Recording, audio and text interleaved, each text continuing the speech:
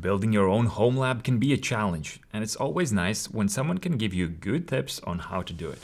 James from Jim's Garage YouTube channel seems to be one of those guys. Perhaps he could use some more MikroTik in his setups. Let's find out. Hello, James. How are you today? Hi, Druvis. I'm well. Nice to meet you. How about you? Uh, good, good. It's nice to see you. Are you actually in a garage? I am, yes, yes, or as I like to call it, garage. I get a lot of people asking about that. I hope it's not too uh, cold in there. The winters in Latvia can get uh, pretty frosty. Yeah, it it does get cold to be honest, but uh, plenty of base layers. Always wear a jumper, as you know, and uh, a little electric heater down there. Where about in UK are you? I'm up in the northeast. Northeast, all right. Yeah, near Scotland, but not uh, not in Scotland. All right, cool. I've myself, I've been, um, I lived in Edinburgh for a while, and then uh, later on, I uh, moved to Manchester. I studied oh, yeah. actually in Manchester, so um, so yeah, I get a get an, a rough idea of the weather. To be honest, it seems pretty mild compared to our winters. Yeah, it's one of those. It's never that bad. It's usually just sort of wet and windy, um, and it, it does get cold. And us Brits like to moan a bit about the cold, but it's not that bad. All right. So, um, how do you come up with this um, channel that you're doing? Yeah, it's it's something that sort of just snowballed. I thought I've struggled so long in trying to set all of this stuff up um, that I thought it's probably worthwhile sharing that. Didn't think that anybody would be interested but it sort of just sort of propelled me along. The more people were interested in asking me for help and advice, um, I just sort of continued to do it and continued to do it. And if anything, that sort of strives me on as well in terms of I like the challenge of doing new things, learning new things. I've met a load of really smart and cool people, um, and yeah, it just it just kind of it spiraled, and then uh, to where we are today. And yeah, I love it now. Um, really enjoy doing it, um, and the likes of meeting people like yourself as well. It's uh, it's, it's, great to sort of grow and expand and, and see what's out there.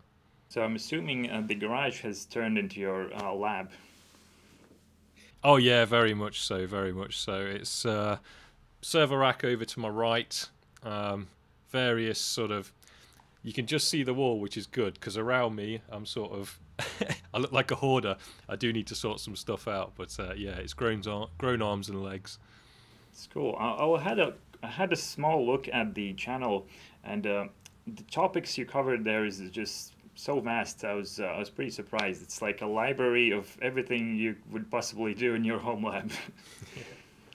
yeah, I, I started out with sort of a methodical kind of approach of where you're starting from sort of inception of trying to get into this. I mean, to be honest, a lot of people do this because um, maybe at work they're trying out new things and new ideas you haven't necessarily got the time or the tools to be able to do it in the workplace. They don't want to buy licenses. They don't want you breaking things.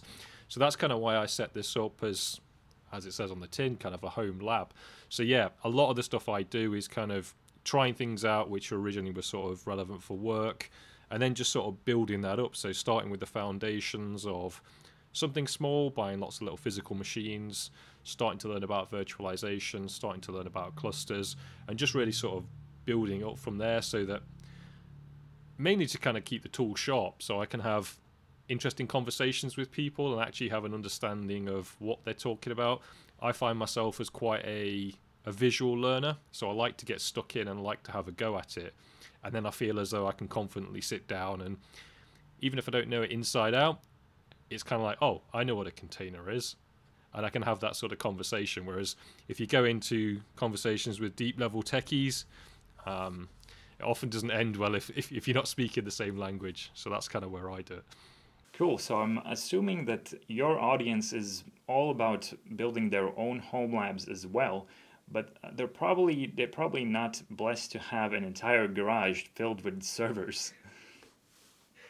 No, you're probably right. I think um, a lot of people, probably younger people as well, probably live in small apartments, etc. Um, space really is a premium.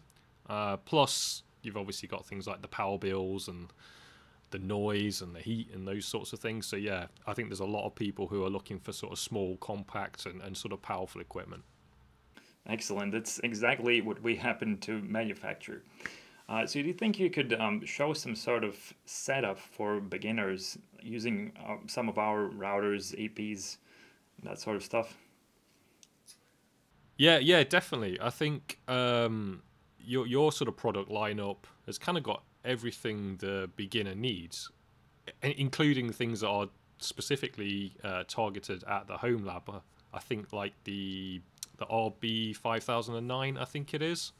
So really, the the main problem is when people are trying to emulate what I cover on my channel and what a lot of sort of the other home lab channels do, is really it kind of starts with buying a another computer or using what you have lying around. But then you soon start to realize you need some more advanced networking. The ISP router that you've been provided with just isn't going to cut the mustard anymore. So, like I mentioned, that RB5009 that gives you sort of the the brains of the operation as sort of a router. And then typically as well, when you lose your router, you're probably going to lose your Wi-Fi. So you're going to need some access points. And again, I think looking through your stack, um, the AX3, um, the, the HAP. Um, those look like they have some sort of cutting edge features plus um, really attractive price points. Because again, one of the things that people are really conscious on in getting into this is you kind of want enterprise features, but not an enterprise price. Um, and and that's really sort of where um, I see the kind of product stack that you guys have um, being really attractive to home labbers. And then obviously you kind of got that layer in the middle, so that sort of switch. So I think uh, looking through your catalog, I was, I was blown away by the quantity and the, the different types that you can get. So I think starting out, you're probably going to want to be sort of near that lower middle end. Um, so something that's got a bit of expansion, kind of that one gig Ethernet, kind of that's that's the absolute minimum. You probably want to be throwing in, say, some 2.5 gig and a bit of 10 gig maybe if you're getting a NAS and things like that. So it's really just to get some solid foundations out of um, out of the kind of product stack that you've got. And I think as well, what's really nice is having that ecosystem as well. So it's all sort of centrally managed, and then you can plug and play and adapt and put different things into that as you grow. I think that's what makes it really attractive. Yeah, I would uh, agree. And um, you mentioned 2.5 gigabits, and um, that's actually one of the like top um, things people are asking. More 2.5 gigabits, but we already have this perfect 2.5 gigabit switch, and it has SFP plus ports. So you can just do an SFP plus connection to the RB5009, and now you have what like eight or nine 2.5 gigabit ports. So uh, so I think that's what you should uh, do in this setup. And, uh, and I think we, um, so we should get those uh, three devices for you and ship them to you as soon as possible. Yeah, perfect. No, re- really excited to, to collaborate with you. And, and like I said, I really want to provide this as uh, sort of beginnings to end, low level, really dive into it and give everybody sort of the tools they need to kind of replicate this setup. A lot of my stuff focuses on what to do once you have this set up but not sort of how to set things up, and also not an up to date guide um, with some good hardware. So, yeah, absolutely, really excited to um, have a look at those devices, play around with them. It'll be the first time as well that I've had a look at them. I've heard a lot of good things, read a lot of good reviews, but never actually had a play with them. So, yeah, I think it ticks a lot of boxes for me. Um, I'm really keen to get stuck in. All right, we'll get to the shipment right now and we'll see what happens. See you later. Excellent. No, thank you, and nice to meet you, Druvis. All the best. Bye bye. Here are the three devices James is going to need for the 2.5G Home Lab setup. The RB5009 can serve as the networking brains. It can provide close to 10 gigabits of routing throughput. I've heard complaints that it only has one 2.5 gigabit port, but you cannot have everything. Sometimes you have to choose. Do you want something big, loud, and expensive, or compact, completely silent, and very affordable. This is a little ninja for your home lab. With an SFP Plus port that can provide a 10 gigabit connection to our 2.5 gigabit switch, the CRS310 8G Plus version. With this addition, you now have 8 more 2.5 gigabit ports, all capable of wire speed switching throughput, including layer three switching. Now, if you really need more advanced router features on those ports while maintaining maximum throughput. You could still do that on four ports at the same time if you pass the work onto the RB5009. For a connection between these two beasts, you will need SFP+, but for James, we'll chuck in a couple of our 25G DACs. Of course, they are backward compatible with SFP+, and I'm sure they will come in handy in the future. Then the last piece. You're probably looking for some wireless in your home lab. The HAP AX3 with one 2.5 gigabit port is not a bad option.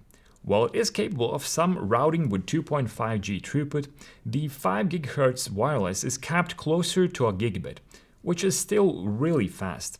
I think altogether this is going to make an excellent networking foundation for an amazing home lab. But enough talking, have a look at what James does with this. Hey Druvis, thanks to you and MikroTik for sending me these three devices. I've had a great time over the past few weeks putting together a mock-up home lab and also creating a configuration guide for my channel. It's not quite perfect, but I'm going to keep working on it as there's a ton of features that I'm yet to discover. Really looking forward to what you guys have got cooking up and I'd love to feature future products on the channel. Hint hint, let's get some Wi-Fi 7 on the go.